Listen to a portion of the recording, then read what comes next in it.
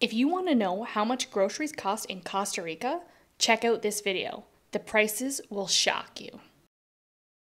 In this video, we'll show you the prices of many staple food items, fruits and vegetables, how much it costs to typically eat in a restaurant or get takeout, as well as showing you our one month grocery bill. We've spent several months camping in Costa Rica, as well as several months living in the capital city of San Jose. So we'll let you know how much more city living is going to cost you. We eat and cook the majority of our meals at home or in camp. On average, we get takeout or eat at a restaurant five times per month. Costa Rica has many options for grocery shopping. You've got your larger local grocer chains like Walmart and PriceSmart, which is their version of Costco and they sell Kirkland brands. There are several more upscale grocery chains like Massey Meadows and Freshmart, where you'll pay a little bit more for most items.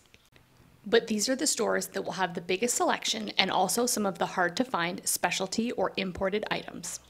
Next, you have the local supermercados like Avenida 10, Pali, Maxi Pali. These grocery stores are more of discount grocers, and you'll find that the prices are a little bit cheaper. These are the stores that we primarily do the bulk of our grocery shopping at. And of course, you've got the local fresh markets. This is the place where you'll find the cheapest prices for fruits and vegetables, as well as the greatest selection. We typically make a trip to the market several times a week to pick up fresh fruits and vegetables.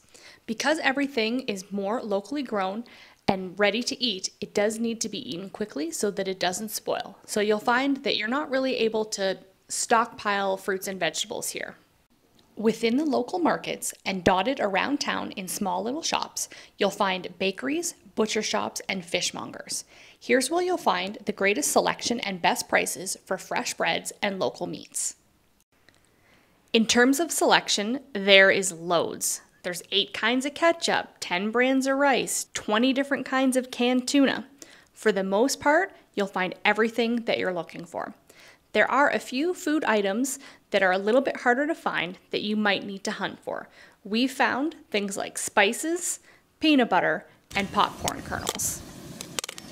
We buy our fruits and vegetables at the market and primarily shop at discount grocery stores, picking up a few items at the larger grocery chains. So if you shop at the bigger grocery chains primarily, expect your bill to be even a little bit higher.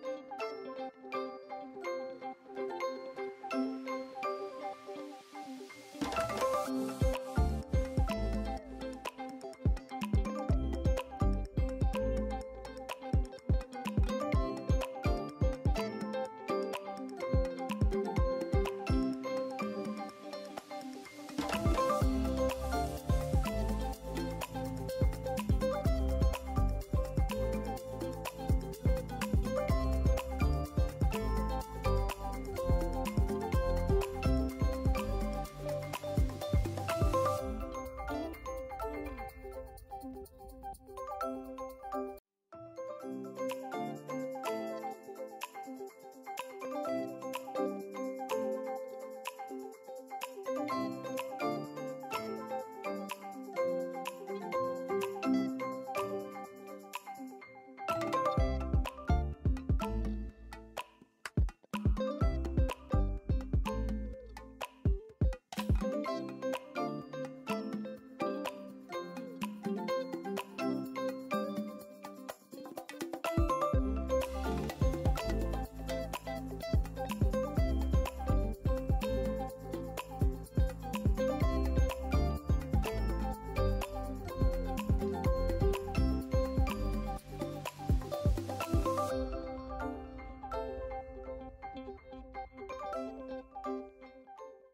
Restaurants are basically the same price all across Costa Rica. While camping, we splurged one night on Indian food and it was very pricey. That pricey Indian dinner is what accounts for the price difference between our restaurants while camping and living in the city. We left Canada about one year ago and we did see our grocery bill steadily increasing. When we left, on average, we were spending in US dollars about 110 to 150 US dollars per week. Never have we ever spent as much per week on groceries as we are in Costa Rica. If you're planning on staying in one of the major cities in Costa Rica, expect to spend about $100 more per month on groceries. Grocery shopping in Costa Rica is definitely expensive.